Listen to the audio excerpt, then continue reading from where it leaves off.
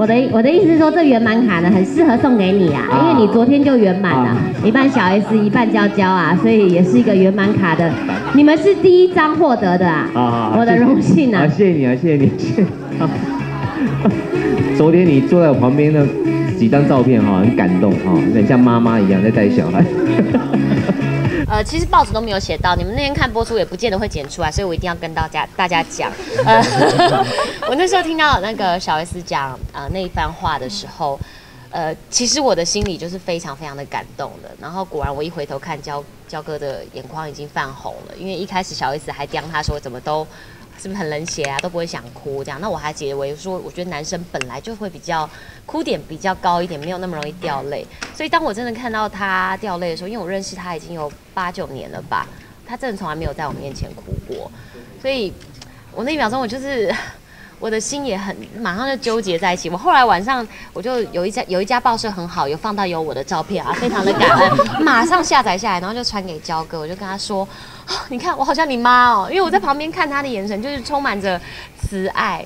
然后呃，因为其实我昨天在节目里面有讲，但你们可能也不会听到。就是我其实从认识焦哥那一天，我就觉得他是我认识非常非常棒的男主持人，他也是我见过最用功的艺人。他对于音乐，然后流行资讯，甚至报纸，他每一份都订。他每天都是不断的在吸取各种跟演艺演艺圈相关的各种资讯。所以我觉得这么用功的艺人，真的。怎么会没有相对这么好的成绩？然后我都一直替他抱屈，但是你看他，我呃我记呃昨天录影的前一天，我还跟他说你现在怎么样？你现在有没有觉得自己可以开心一下？因为我觉得以我当他朋友，我觉得他这几年总算总算是出运了，就是成绩越来越好，然后非常非常的忙碌。现在你看所有记者会。只要是大咖，只要是被重视的，一定是找黄子佼。然后他也主持了金马奖，他多想就是参与这种颁大型颁奖典礼，我觉得他都如愿的。我说你有没有做梦的时候也笑？他就说没有啊。我说你可以，拜托你几天晚上做梦的时候请笑一下这样。